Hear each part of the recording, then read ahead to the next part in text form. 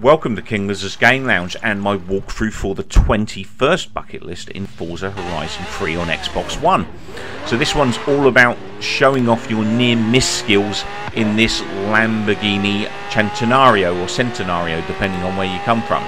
So all about high speed here. Obviously the best way to get the best possible speed is to drive manual gearing and push the accelerator into the red and change at the last minute in order to get the best possible speed you can.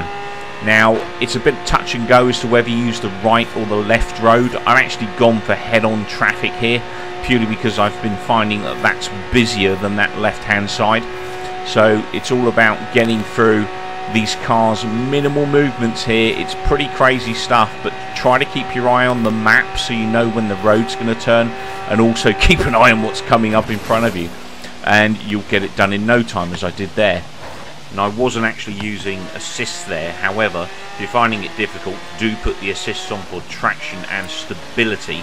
The game at default now I don't know if it grabbed my original save data from Forza Motorsport 6 but at default I was quite surprised to find that Forza Horizon 3 for me had assists for STM and for traction turned off. So if you're finding it a bit hard driving cars do check your setup. Please remember to rate and subscribe. Take care. Keep well. Keep watching